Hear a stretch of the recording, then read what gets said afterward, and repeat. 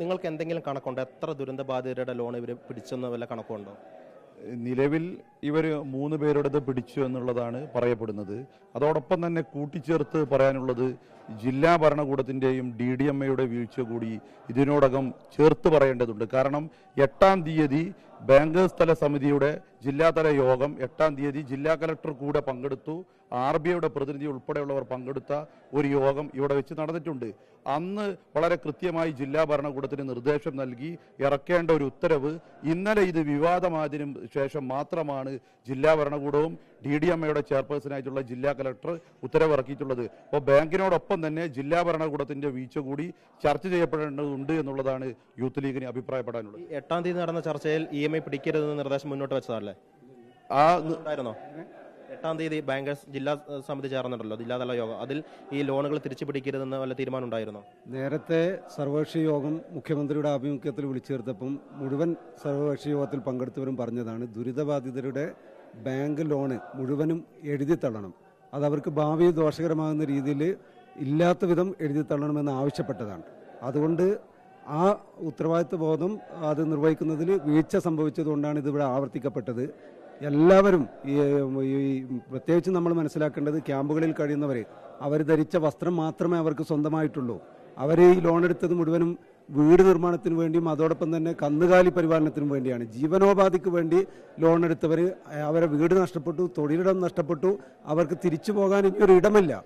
അവരോടാണ് ഈ ക്രൂരത കാണിച്ചത്. അതുകൊണ്ടാണ് ശക്തമായ പ്രതിഷേധം ഇനി ഞങ്ങൾക്ക് ഗവൺമെന്റിനോടും ഞങ്ങൾ ഇതിന്റെ പുനരധിവാസത്തിന് വേണ്ടി എല്ലാവിധ പിന്തുണയും നൽകിക്കൊണ്ട് രാവും പകലും അവിടെ സർക്കാരിന് പിന്തുണ നൽകിയും നിലയുറപ്പിച്ചവരാണ് യൂത്ത് ലീഗും മുസ്ലിം ലീഗും ഒക്കെ അതുകൊണ്ട് തന്നെ ഈ ബാങ്ക് ലോണും കൂടെ അത് ഗവൺമെന്റ് വിചാരിച്ചാൽ നിഷ്പ്രയാസം സാധിക്കുന്ന ഒന്നാണ്. ഇന്ന് ഗവൺമെന്റും അതിനിടപെട്ട് പ്രഖ്യാപനം നടത്തണം എന്നുള്ളത് കൂടെ ഞങ്ങളുടെ ഡിമാൻഡാണ് ചർച്ചകളൊക്കെ നടന്നിട്ടുണ്ട്.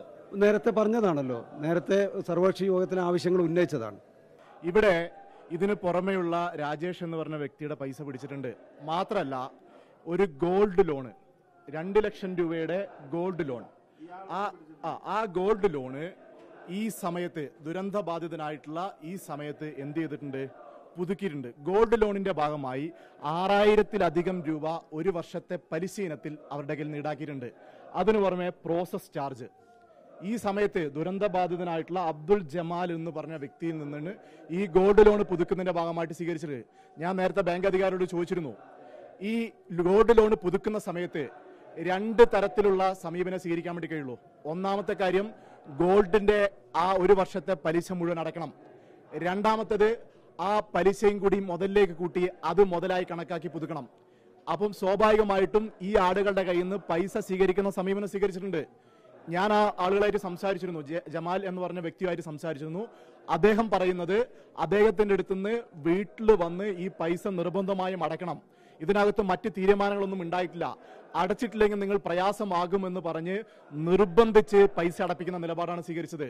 ഇത്തരം ദുരന്തം ബാധിച്ച ഒരു പ്രദേശത്ത് ഇത്തരം ഒരു സമീപനം സ്വീകരിക്കുന്നത് ഒരു കാരണവശാൽ അംഗീകരിക്കാൻ വേണ്ടി കഴിയില്ല. അതുകൊണ്ട് ജമാലിന്റെയും രാജേഷിന്റെയും പിന്നെ ഏതാ കേസ്? ഒരു കേസുണ്ട്. ഇതുകൂടി പരിഗണിക്കണം. ടോട്ടൽ ആറ് പേരുണ്ടായിരുന്നു. മൂന്ന് പേരുടെ ലിസ്റ്റാണ് തന്നിരിക്കുന്നത്. ലിസ്റ്റ് അതായത് ഇവർ ലിസ്റ്റിലെ കാര്യത്തിൽ ഇപ്പോഴും ഹൈഡ് ചെയ്യാണ്. ഹൈഡ് ചെയ്യാണ്. അതൊരു കാരണവശാലും സംഭവിക്കാൻ വേണ്ടി കഴിയില്ല. ഞങ്ങൾ ഓരോരുത്തരെയായി ബന്ധപ്പെട്ട് ഈ ആളുകളിൽ നിന്ന് ഡീറ്റെയിൽസ് എടുത്തുകൊണ്ടിരിക്കുന്നുണ്ട്. അതുകൊണ്ട് പൂർണമായി വിവരം പുറത്തുവിടാൻ വേണ്ടി ബാങ്ക് അധികൃതർ തയ്യാറാകണം.